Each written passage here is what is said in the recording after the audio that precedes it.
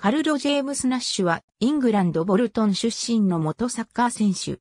現役時代のポジションはゴールキーパー。1993年、イングランドアマチュアサッカーリーグのノーザンプレミアフットボールリーグディビジョン1ノース所属、ロッセンデールユナイテッド FC にて、フットボールキャリアをスタートさせる。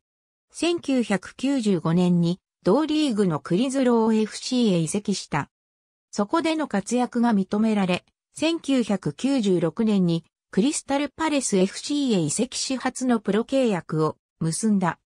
その後はストックポートカウンティ FC に活躍の場を移し3年間在籍した後、2001年1月10日に当時フットボールリーグディビジョン1に所属していたマンチェスターシティ FC へ移籍。プレミアリーグ昇格に貢献した。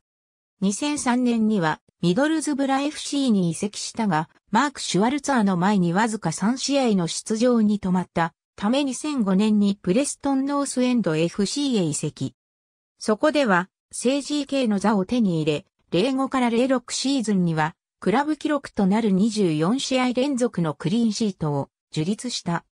しかし2006年になると、自身のウェブサイトにて、プレストンの野心は自分とは異なると発言し、クラブ関係者及びファンの反感を買ってしまう。控えに降格となり、同時期にブライトンホーブアルビオン FC からアイルランド代表 GK ウェイン・ヘンダーソンを獲得したこともあり、事実上、第 4GK に格下げされた。プライドを傷つけられたナッシュは移籍を希望し、2007年にウィガンアスレティック FC へレンタル移籍した。期間が終わり、プレストンへ戻ることになったが、戦力外として自由契約になってしまう。そしてサイドウィガンがフリーで獲得し正式契約を結んだ。ただしウィガンにはイングランド代表 GK、クリス・カークランドがいるため一度も出場の機会がなく、2008年3月4日にストークシティ FC へローンで移籍した。そして9月1日、ティム・ハワードの控え GK としてエバートン FC へ完全移籍を果たした。少年時代のナッシュはエバートンの大ファンであり、オファーが届いた際、夢のようだと語っている。だが、ハワードの壁は厚く2年間の在籍で、リーグ戦出場はゼロだった。